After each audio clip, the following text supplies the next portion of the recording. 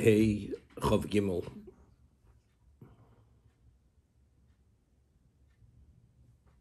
Chav Beis. Chav Beis. V'yavu'u ha'noshim al ha'noshim.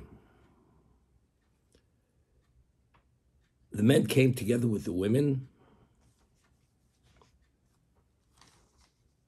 Kol nediv lev.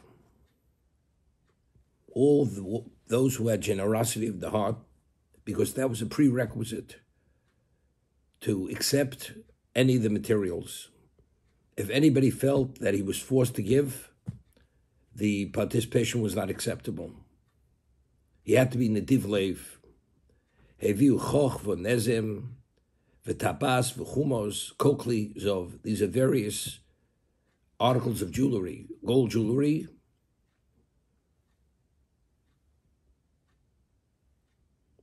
which the woman wears. So the woman brought their jewelry, and the male also tithe the gold Hashem, the gold that he had. So Rashi over here explains what are these various pieces of jewelry, and the Torah identifies what they were. Choch, hu tashit shelzov ogul nosen al azroa. It's a bangle which is worn on the arm. Vuatzomid, that's called tzmidim.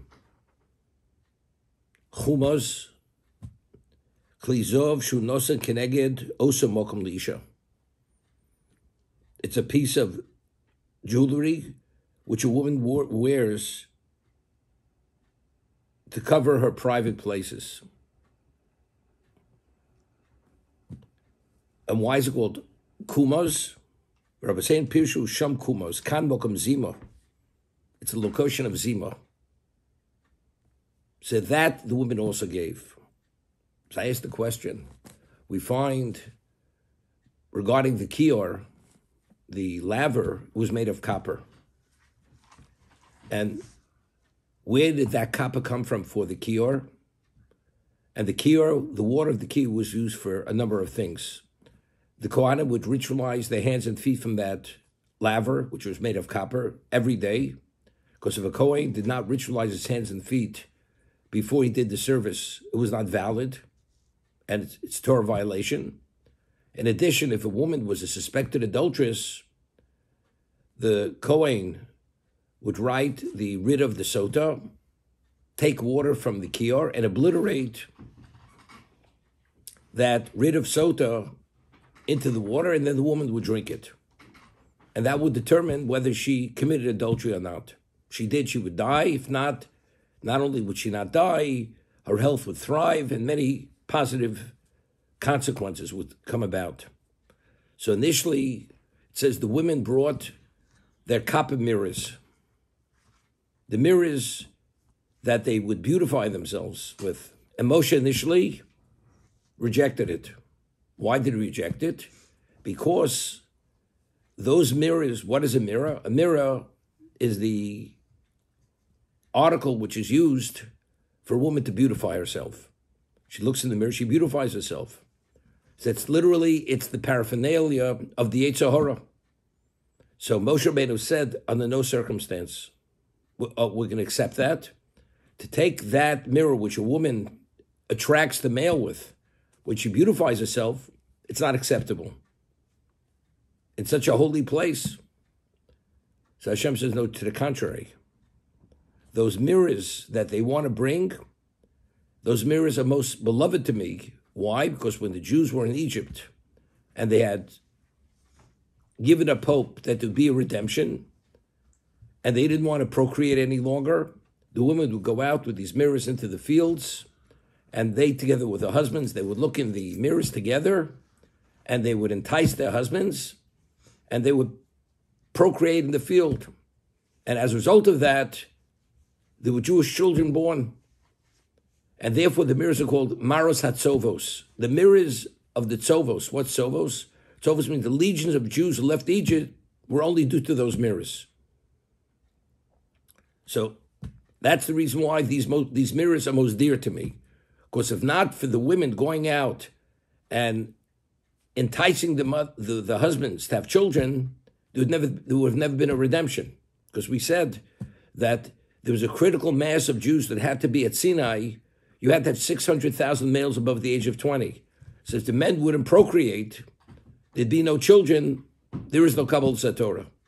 So due to what the women had done, therefore the world met its objective that there was a Sinai.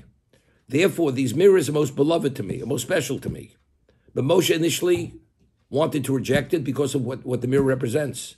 And here we find regarding the gold, the bracelets, the jewelry, which makes a woman attractive. And even the Torah identifies one of these articles of jewelry, which has to do with a, a place of a woman, which is something which we don't discuss. And even that was accepted. And Moshe initially didn't reject that. He didn't reject that piece of jewelry because it has that level of representation. The question is why? So the answer is very simple. Here, the gold that was given was from many sources. The men gave the gold, the women gave the gold. The gold was smelted down, and now you have this bullion, this massive gold from many sources. But there's no, it can't be identified that its source is one source. The mirrors, the kior would have been made only from the mirrors. So what does the kior represent? What would be the basis to identify the kior, the laver? This is the made of the mirrors. That is the article which entices men to women. That is part of the paraphernalia of the evil inclination. Therefore, Moshe originally wanted to reject it, and Hashem says no to the contrary. Because the women use those mirrors in a context only to guarantee that there should be a Jewish people. Therefore, those mirrors are most beloved to me. So now, it's interesting. It says in Chazal that the reason why Hashem says, I allow my name to be obliterated, in that writ of Sota, the name of Hashem is, is written there, and there's a Torah violation, you're not permitted to obliterate the name of God. But for the sake of Shalom Bayis, because in fact the woman did not commit adultery, to restore Shalom Bayis, therefore Hashem says, I will allow my name to be obliterated. That's the reason why Hashem says you could obliterate it. So what do we see from here? The takeaway seemingly, you see how important shalom bayis is to be able to maintain harmony in a home, to secure a relationship husband and wife. You see how important it is, how Hashem values shalom bayis. So what I said was, there's no proof from there. Hashem says, I will allow my name to be obliterated for the sake of shalom bayis. If not for the woman, there would not be a Jewish people. Because those mirrors were used for the woman to be attractive to the husband, should procreate. And therefore, as a result of that, there was a Jewish people, and ultimately there was a Kabbalas Torah. Because if the men wouldn't have procreated with the women, as I said, the critical mass of 600,000 men above the age of 20 would have never come about. So I, it's Hashem is saying, I owe it to the woman because if not for the woman, the, my name would not be known in the world. Therefore, I allow my name to be obliterated to restore the relationship between the husband and wife, because if not for her, there would no, there be no God in this world. That's the shalom, but not because God just values shalom bayis. Hashem feels indebted to the woman for what she had done, that although the men had despaired and they had no interest in continuing, the women encouraged them and enticed them Therefore, as a result of that, Hashem says, I allow my name to be obliterated for the sake of Shalom Bayis, because if not for the woman, there'd be no Yud Vavke, there'd be no name of God.